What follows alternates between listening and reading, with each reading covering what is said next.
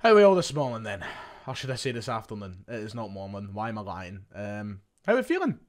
Sore heads? Good celebrations? Well happy? Well content? Make mine a treble.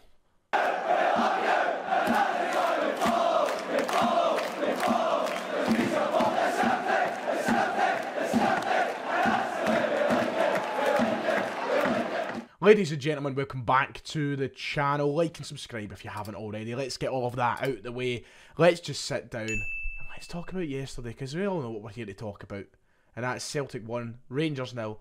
We're into the final of the Scottish Cup. And no disrespect whatsoever. Was that a voice crack? I think it was a voice crack. Uh, No disrespect whatsoever to Inverness. Uh, I'm not uh, overlooking any opposition. But Celtic have one hand on yet another treble. It could be our fifth treble in the last seven years. It is the stuff of dreams. It was the kind of thing that this time seven years ago you would have been branded insane to think could ever happen. But no, we are genuinely on course for winning what could be our fifth treble in seven years after yet another victory against Rangers and Michael Beale yesterday. See all this talk that they keep doing. Oh, the next derby's got to be different. They've not been very fucking different. Pardon my French in this video because it is one of these videos where I probably am going to drop a few F-bombs here and a few different words here. I like to spice it up a little bit and keep you on the edge of your seat. I know it's not for everybody, but guess what? I don't care. right now, I don't care. I'm happy. Celtic have won again. But what I will say now, I, I don't know where I'm, what direction I'm going to go with this video. There's so much to talk about in relation to the game itself, the ramifications of the game, the opposition, and the meltdown coming from that side. There's so much we could talk about, but what I do want to start with is talking about all this nonsense that we've seen in regards to the next game will be different. Oh, Rangers are back. Oh, we'll do it differently. Nothing's changed. Celtic once again yesterday were, how don't I say very poor, but we weren't great. We weren't good. It was one of once again our weaker performances, and yet Rangers still can't beat us. It speaks volumes as to how bad they are at this moment in time and what a mess that club is in. Um, and, and I think they should they should learn a lesson. I will not be surprised if come let's say it's ten to four just now.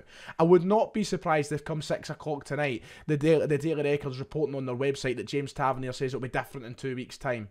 And they're going to show Celtic up for who they truly are, and comments along those lines because it keeps happening and happening and happening. Beale has came in and he set the president and, and and just talking nonsense and coming up with all these excuses and bigging himself and Rangers up to being something they're not. And we've slapped him down three times now. Once in his own backyard, four times now. Once in his own backyard, once in a cup final, once at Celtic Park, and now in their last chance to win a trophy this season. It is a gutless, spineless, and yeah. That's the two words I would use for Rangers. Got to say gutless, spineless, and something else. But that they're gutless, they're spineless, and that's the Rangers we keep coming up against. And we're just so bloody good even when we're not at our best, we get the job done. And they never learn their lesson. And long may it continue. So obviously, as usual, this uh, reaction is a day later than the, the game. I've always made this point very clear. When it's at Hampden with the bus and such and everything else, it's not exactly easy to get back up the road and make a video straight away. Plus, I wanted to enjoy myself, which I did. But during the 90 minutes, did I enjoy myself? Not a great amount, I, must say. Um, yeah, first half I thought was was decent. We obviously got the goal that I thought we, we deserved. Um, and, and it was it was okay from our point of view. But second half, oh, absolutely not. Second half, we were on the back foot. But what I will say is this. For every doubt and every question that's been asked of Celtic players specific Celtic players, sorry, um, about their ability and then our ability to hold on and, and, and to defend by by some people, you know, and, and you know who I'm talking about here when I say Carl Starfelt, for example, gets some amount of criticism from the other side of the city, and even some of our own supporters are saying he's not good enough. And yesterday, I thought he was absolutely immense. Cameron Carter Vickers got man of the match yesterday. I genuinely think it was Carl Starfelt for me. It was one of the two of them, but I thought Starfelt was the better of the two, and he deserves so much credit. And so does that whole Celtic back line and, and, everybody involved in the defensive aspect of our game yesterday. Um, because we done so, such a good job at making sure Rangers didn't get a goal in that second half because they were chasing, they were chasing, they were chasing, and every ball they put into the box and every shot they had from range, our defenders and midfielders managed to deal with it. Yes, we should have done more with it when we moved up the park and we tried to advance our game. There wasn't an awful lot to talk about in the second half when you move up the park, but defensively, brilliant. And I thought that Joe Hart, in fact, maybe had one of the best games of his Celtic career and uh, yesterday. I thought he was brilliant. He oozed confidence. He was coming out and claiming absolutely everything. Um, he made a couple of big saves as well.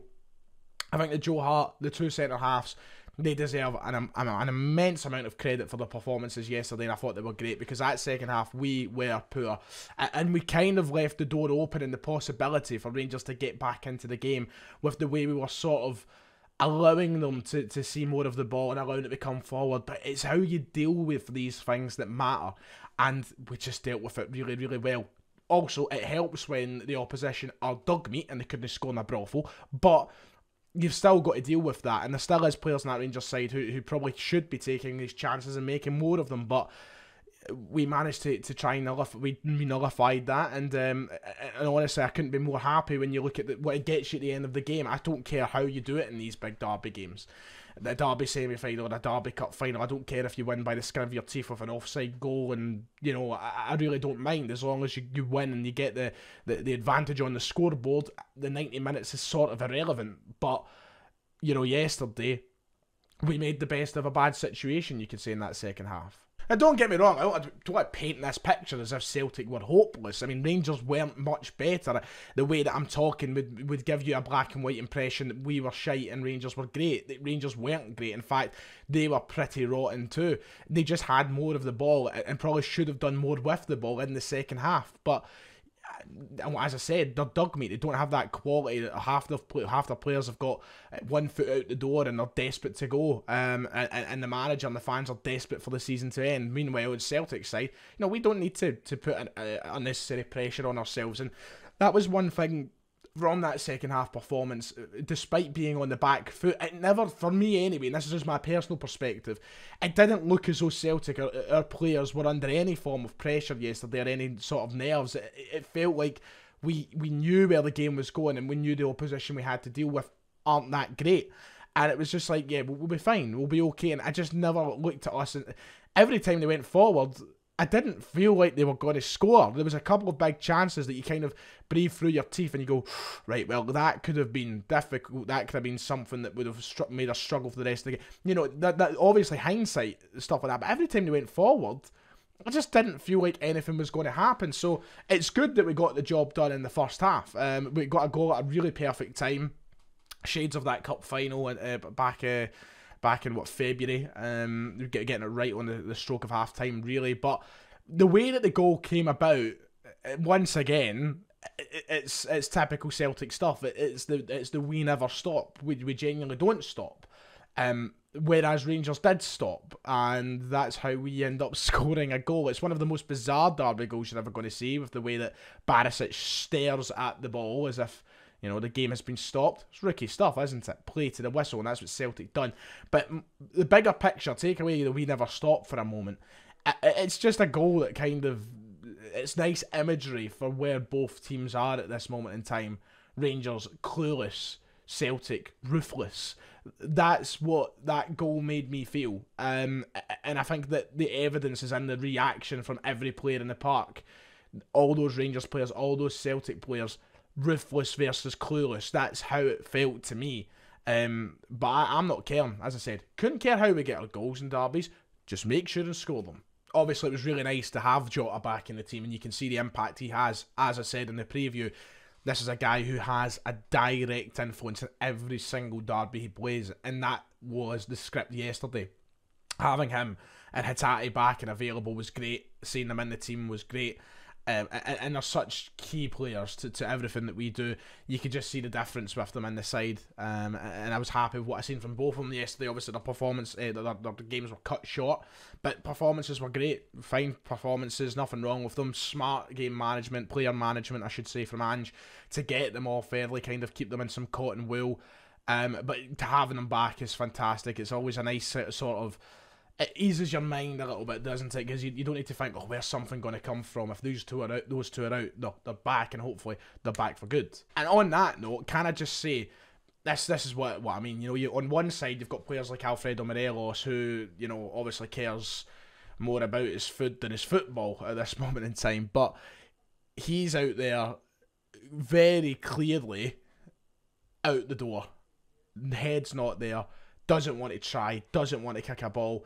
And it's Kris Boyd, who I hate, as Kris Boyd said today, you've got to agree with Kris Boyd saying if you're a Rangers fan, you should be disgraced by that. Disgraceful performances from Morelos. That's what's happening on one side. Whereas on our side, and what's happening at Celtic, is you've got a guy like Cameron Carter Vickers out there on one knee, basically, needing surgery, putting out man of the match performances. That is incredible, and it speaks a ton about the characteristics and, and, and the personality of the guys that Ange is bringing in, and the trust and faith that these players have in that manager, that they're willing to rest themselves on one knee to go out and play in a game like that. where we all know these can get dirty. And, we all know the opposition can get dirty. You know, all I had to take was one player to go slide into Cameron Carter Vickers, and that injury that he was walking into the game on could have been worse. Um, but he didn't worry. He went out. He gave it his best man and match performance, as I said, and that's the characteristics of the players we have. They don't quit. They're winners, serial winners, whereas the other side are serial fucking losers. Um, as we now know, the, the, the kind of ramifications of that is that Vickers will now miss the rest of the season. and has confirmed that he'll be out. He's going for his surgery, but I'm glad he is. Uh, let's get him wrapped up in cotton wool and, and give him as long as a, a, period as possible to get fit and ready um, for the next campaign. But huge credit to him and huge respect for him for, for going out in that park yesterday and giving out the performance he did. We have yet to lose to Rangers this season. We have one more derby left in two weeks' time. It's the most meaningless and pointless derby in, in a long time as well. Nothing really on the line, pride on the line for Rangers. But we are talking about, you know, 2016 17 levels of success against Rangers here, sweeping every trophy, knocking them out, um, beating them in the final of one cup, and then knocking them out the other cup um, and then, you know, the potential opportunity to be unbeaten against them. You know, we have won four of the five games we've already played this season, which is nuts. It's, it's, it's bonkers, really. And long may this continue. I, I love it. Um, but, you know, the, the, the bigger picture from yesterday's game is that Rangers fans should be very, very worried and I always come in here just to be honest, and on this channel to be honest. And I'm never going to let anything my honesty away from me. But any Rangers fan who's trying to deny or live in denial about what Celtic are at this moment in time, you're in for a rude awakening. And you're in for a torturous few months, maybe years. This success is not stopping as long as Ange Postecoglou is here. And Rangers are miles behind off and on the park. This isn't a summer fix for Michael Beale.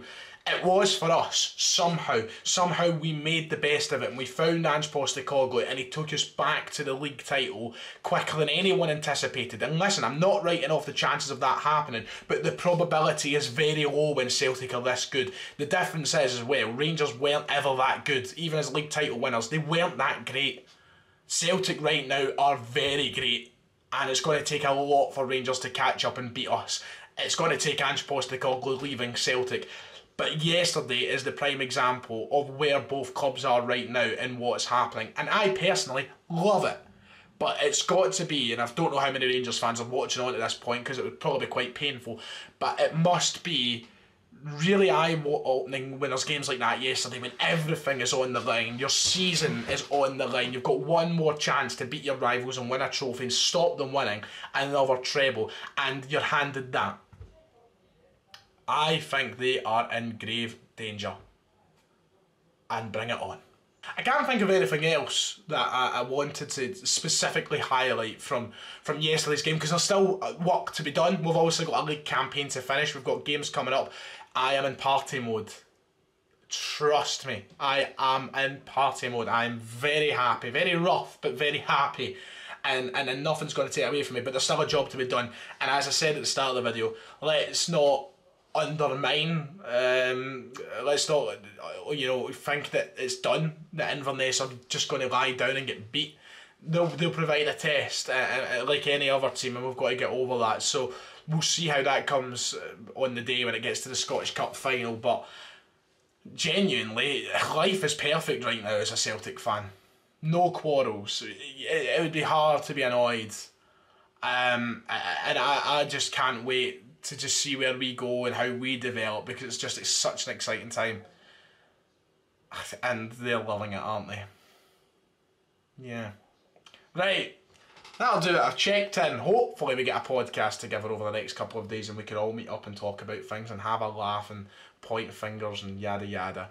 Um, and maybe we'll have a look into some of the meltdowns as well. Yeah. Right, cheerio.